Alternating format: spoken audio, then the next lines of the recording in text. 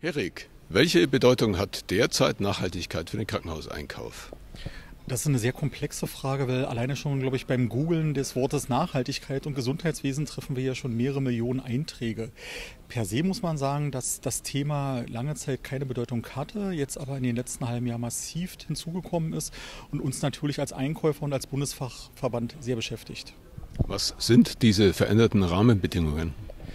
Ah, das größte und bekannteste ist natürlich das äh, Lieferketten-Sorgfaltspflichtengesetz, was ja binden wird mit verschiedenen Stufen, äh, je nach Unternehmensgröße, wo wir als Krankenhausverband ich in meiner Anstellung als im Krankenhausträgerbereich natürlich feststellen muss, je größer die Häuser werden, desto mehr ist es äh, wichtiger nachzufragen, wo kommt die Ware her, wie ist sie produziert worden, welche Wege nimmt es sie.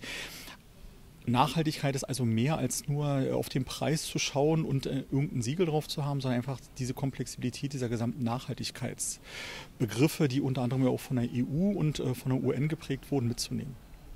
Sie haben erwähnt, dass es eine neue Hauptrichtung beim Einkauf gibt. Wie sieht diese Hauptrichtung aus?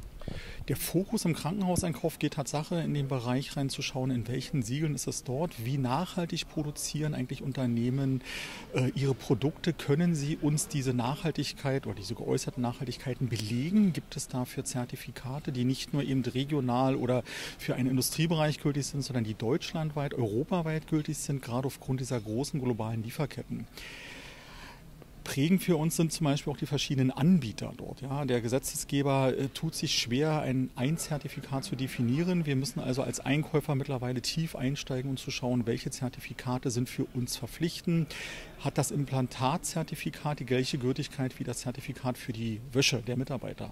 Das sind halt die neuen Herausforderungen, mit denen wir uns im Krankenhauseinkauf beschäftigen, wir uns im Bundesverband der Einkäufer natürlich auch beschäftigen und ich glaube, ein zukunftsträchtiges Thema sein wird.